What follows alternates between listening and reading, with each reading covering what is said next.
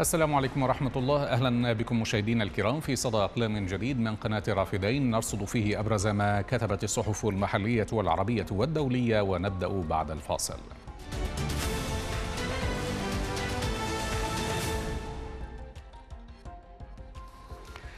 البداية من صحيفة المدى ومقال للكاتب كاظم المقدادي حول الذكرى الرابعة لانطلاق انتفاضة تشرين 2019 التي شارك فيها الملايين من العراقيين والعراقيات من مختلف القوميات والأديان والطوائف والتي مثلت وحدة الطيف العراقي الزاهي المطالب بحقوقه المشروعة وفي مقدمتها الحياة الكريمة الحرة والمستقبل الأفضل والرافض لمنظومة الفساد والمحاصصة الطائفية والإثنية ونهب أموال الدولة وتقاسم المغانم.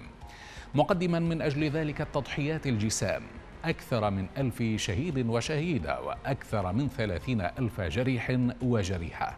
من بينهم نحو سبعة آلاف معوق ومعوقة جسديا والمئات من المختطفين والمغيبين. ويضيف الكاتب أن العراقيين يرفضون بعد هذه السنين العجاف سلطة الفساد المالي والإداري والمحاصصة ونشر الفقر والجهل والتخلف ويريدون حياة أفضل ومستقبلا سعيدا. ومن أجل كل ذلك ستندلع الثورة العارمة لا محال وسيتحقق التغيير الجذري والشامل طال أمده أم قصر. ومن أبرز الدروس البالغة التي أعطتها الانتفاضة هي الثبات والصمود والتحدي ومجابهة القمع الدموي والقتل العمد للقوات القمعية والميليشيات المسلحة والرصاص الحي والقنابل الغازية السامة وبقية أسلحة القتل والشلل والإعاقة بصدور عارية.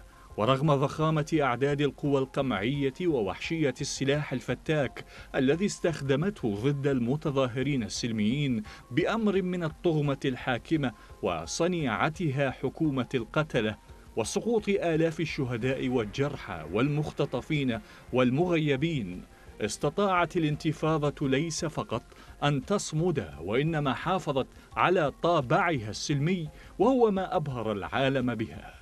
وعلى الرغم من عدم تكافؤ الفرص والإمكانيات بين السلطة والجماهير المنتفضة فإن الانتفاضة المجيدة هزت أركان منظومة الفساد والمحاصصة الطائفية والإثنية بكاملها وعرت رموزها وأرعبتها رغم جبروت ما تمتلكه من حمايات وميليشيات وأسلحة ومعدات قمعية رهيبة وقد أثبتت شبيبة العراق من الجنسين أنها مفخرة الوطن وشعبه وبرزت باستعدادها وشجاعتها وتحديها وصمودها وتضحياتها كأيقونة حقيقية للثورة ونبراس وهاج لها. ومما زادها فخرا واعتزازا اندماجها الملحوظ مع روح الانصهار في الوطن وفي العمل الجماعي والتضحية والفداء من أجل الوطن والشعب وبذلك أصبحت الأمل المعول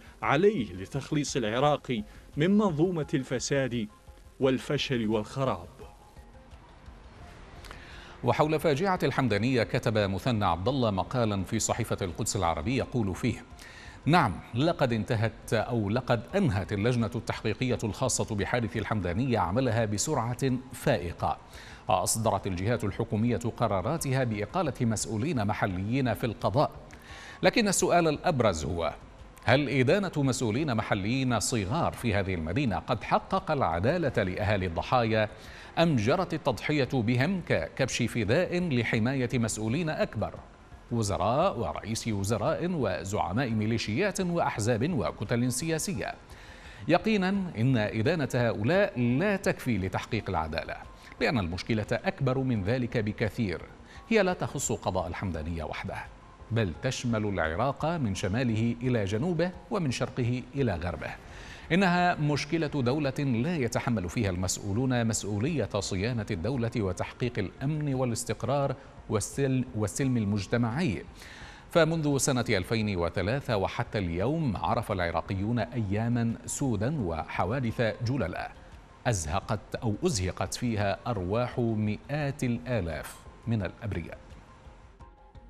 إن الموجود في العراق ركام دولة وليس دولة حقيقية فيها مؤسسات وقوانين وجهات رقابية إضافة إلى وجود جهات ظل متعددة تتصارع فيما بينها من أجل السيطرة وتحقيق النفوذ. فقضاء الحمدانية هو جزء من سهل نينوى الذي تبلغ مساحته 370 كيلومتر مربع وهو جزء من عملية صراع بين أكثر من جهات مسلحة. وكل المسؤولون في هذه البقعة الجغرافية هم جزء من المحاصصة. حالهم حال بقية المسؤولين في كل العراق وبذلك هم محميون من المساءلة من قبل الجهات الساندة لهم. وحتى عندما يكون الحادث جللا ويتطلب اتخاذ موقف لحفظ ماء وجه السلطات أمام المواطنين.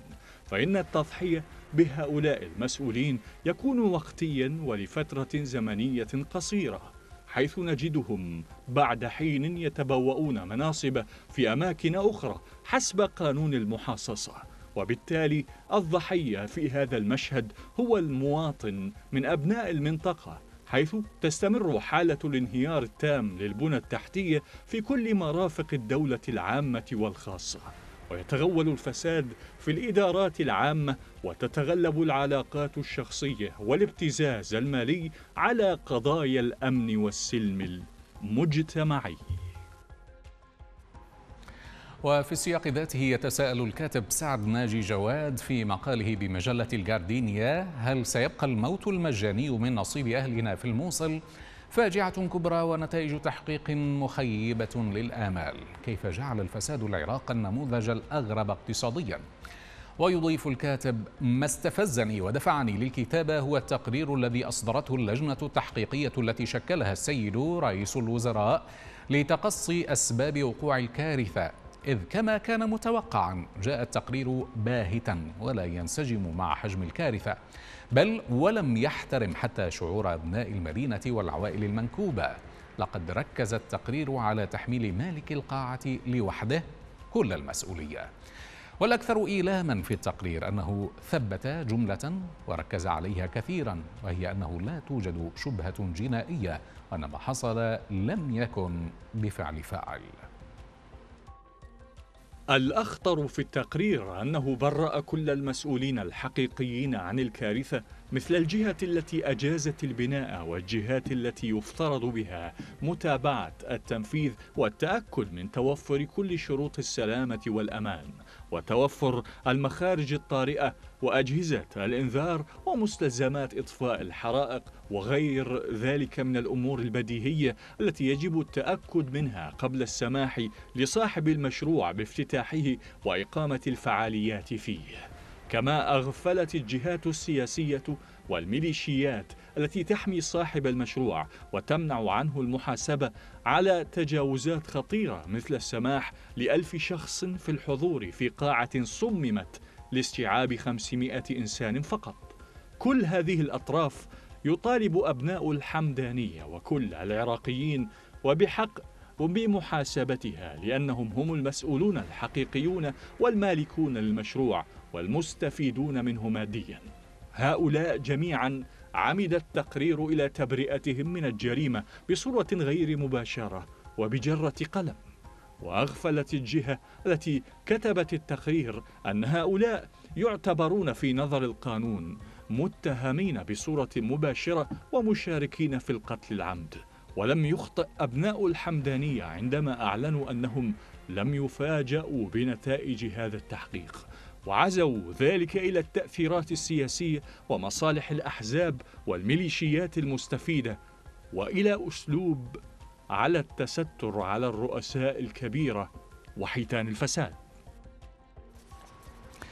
نشرت مجلة Foreign Affairs الأمريكية تقريرا حول العلاقة بين العراق والولايات المتحدة ونظرة الساسة الأمريكيين إلى العراق حيث رأت المجلة أن العراق كان عدوا ثم صديقا للولايات المتحدة لكنه أصبح الآن الصديق العدو اعتمادا على الإدارة المح...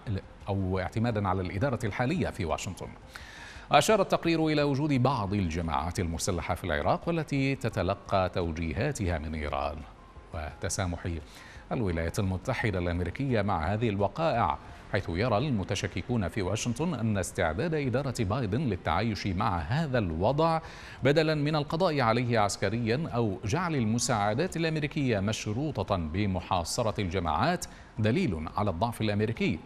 أشار التقرير إلى أن واشنطن تتحمل مسؤولية أخلاقية لمساعدة العراقيين.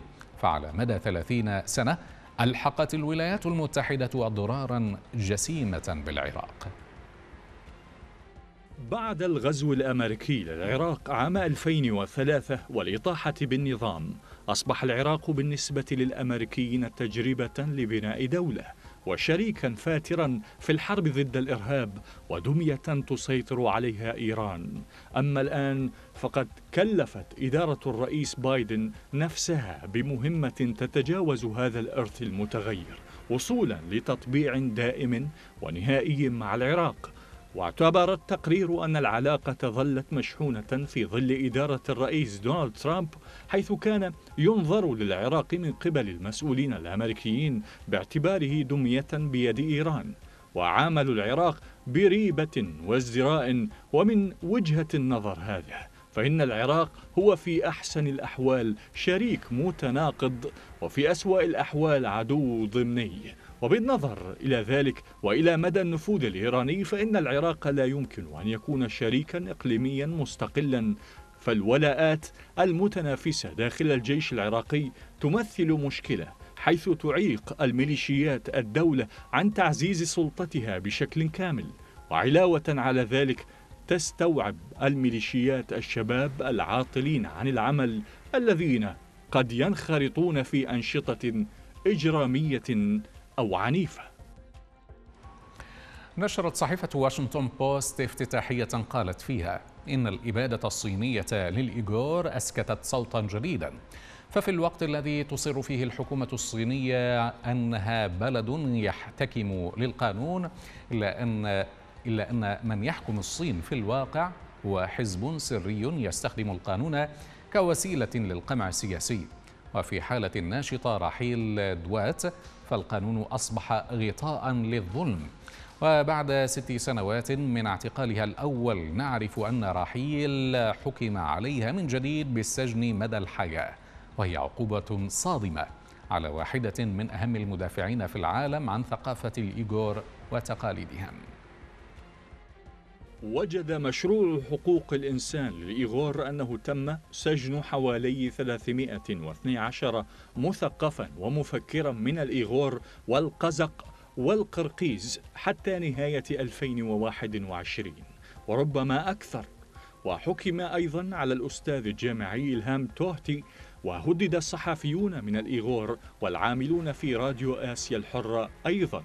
وتم الكشف عن عملية الإبادة بعد هجوم على سوق مفتوح في جنوب تشينجيانغ في آيار مايو 2014 وقتل فيه 31 شخصا وحملت السلطات الصينية الانفصاليين الإيغور مسؤوليته. وتعهد الرئيس الصيني شي جين بينغ بسحق التطرف وفي السنوات اللاحقة بنت الصين معسكرات أمنية لإعادة التعليم والتي اعتقلت فيها أكثر من مليون من الإيغور ودفعت السكان الإيغور لمعسكرات العمل الإجباري وشنت حملة لتعقيم النساء والحد من النسل. ونفت الصين في البداية وجود المعسكرات ولكنها زعمت لاحقا أنها مراكز للتعليم المهني. ووجدت الأمم المتحدة أدلة موثوقة عن ممارسة التعذيب وانتهاكات حقوق الإنسان التي قد ترقى لجرائم ضد الإنسانية.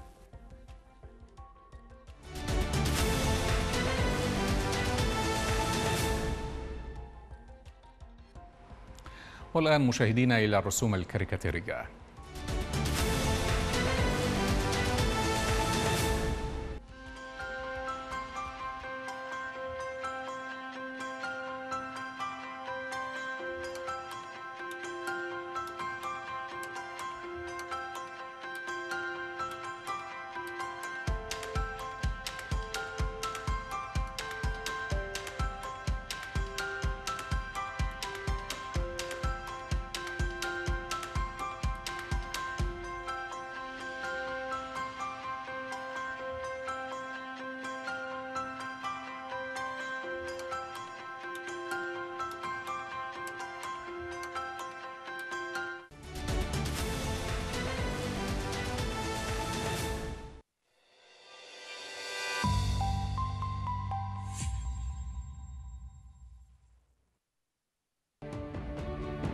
بلا جدران تقيهم حر الصيف وبرد الشتاء. أخرجوا من ديارهم غائبون لا صوت لهم. وبلدهم يطفو على بحر من النفط تصارع أكفهم قسوة الحياة. هدموا كل ما هو جميل وأساءوا لحاضرة الدنيا. حتى استغاث منهم تراب الرافدين. لكن أحفاد ثورة العشرين سيكسرون القيد. ويبذلون المهجة ويعيدون الحياة. لن تكتم الأفواه ولن تحبس الألسن. فنحن صوتكم.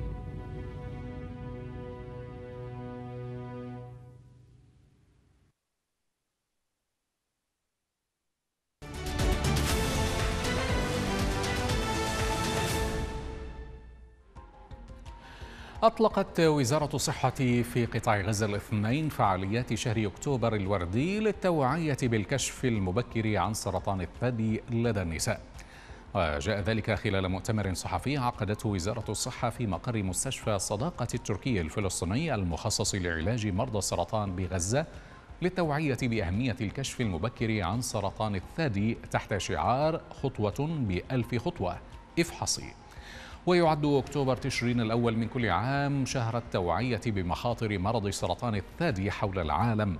عبر تنفيذ عدة أنشطة تحث النساء على الكشف المبكر والدوري فيما تتخذ الأنشطة اللون الزهري أو الوردي شعارا توعويا لها.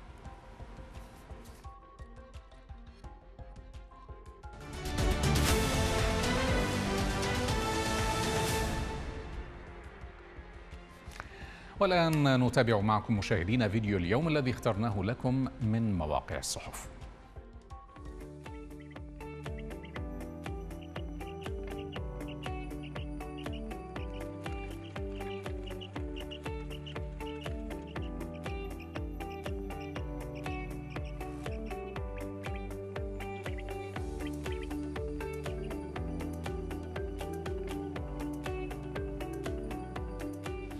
الفر السنة هذه الحمد لله يعني كويس ممتاز جدا.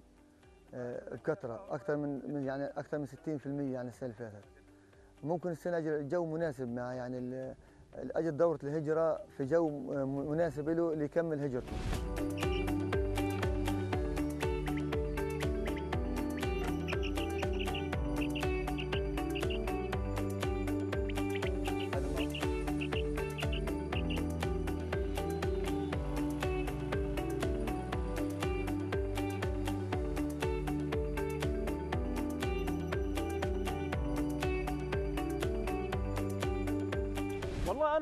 بصيده وببيع بترزق فيه يعني الفر ب 10 شيكل وانت عارفين وضع البلد الصعب وزي هيك إحنا إيش نسوي؟ إيش نشتغل؟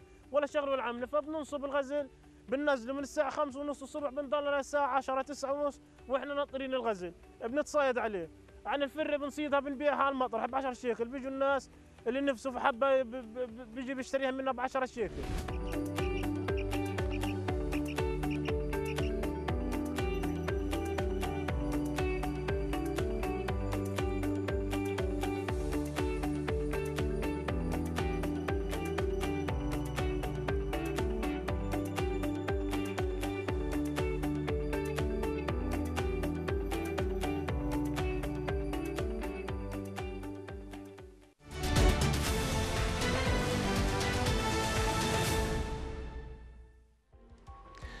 وبهذا نصل لختام حلقة اليوم من صدى الأقلام. في صدى أقلام جديد نلتقي بحول الله وقوته دمتم بخير. إلى اللقاء.